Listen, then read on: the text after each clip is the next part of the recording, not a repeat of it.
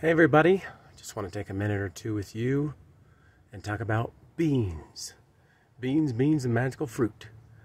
I had a patient come in the morning, this morning for the first time, and he has, as part of his diagnosis, high cholesterol, high blood pressure, high blood sugar, type 2 diabetes, and a myriad of other things, fatigue, can't sleep well.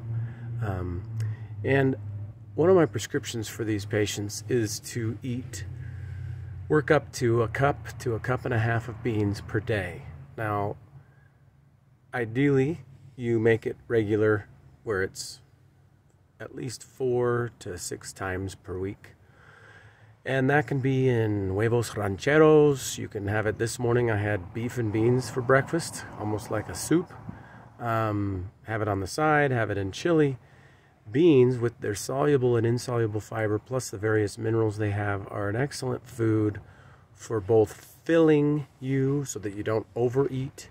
They also are excellent for uh, cleaning up the pipelines, blood vessels, intestinal tract, etc. Um, there's an exception for everyone, and some people react horribly to beans. But my suggestion to start is to start with a little bit Mash them if you if you must. That will help you have less flatulence, and and get those beans in. I had a patient once. He was a favorite case as far as how good the beans worked for him. I could tell he went on vacation because his blood sugar would shoot up to 260. And then after just a week or two of getting back regular with the beans, he'd get back down to 150, 160. Drop 100 points just with that regular consumption of beans. What are your favorite beans? Eat whatever kind of beans you want.